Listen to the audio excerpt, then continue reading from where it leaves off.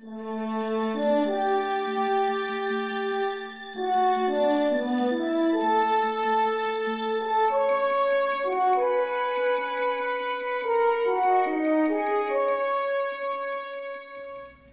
Peters from StarTrekProps.com here, and I'm here with my Admiral Janeway costume from Star Trek Nemesis. Admiral Janeway, how good to see you again. Jean-Luc, how'd you like a trip to Romulus? So this is the typical black and gray Admiral costume that you would have seen in Star Trek Deep Space Nine. Um, this one obviously was fitted for, for Kate Mulgrew in her role of Admiral Janeway in Nemesis. Um, and what's really interesting about it is not not just you know that it's unique and she only wore it in Nemesis on screen, but she also wore it in the Borg 4D uh, portion of the Star Trek Experience ride that was at Las Vegas at the Las Vegas Hilton. Congratulations.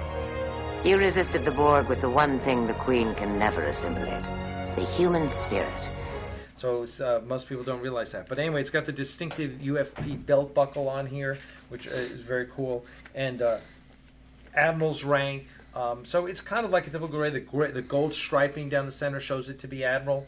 Um, the the con, the admiral's uh, rank badges up here. So it's a very impressive costume. I'm really proud of it, and everyone loves Admiral Janeway. And oh, look, the original Robert Blackman's costume sketch for Admiral Janeway's costume.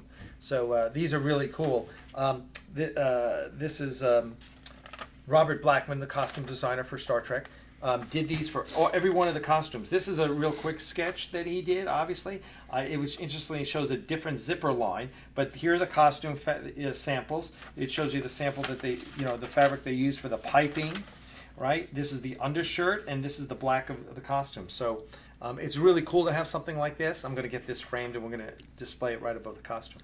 So that's it for now from Alec Peters, StarTrekProps.com, and stay tuned for more videos just like this.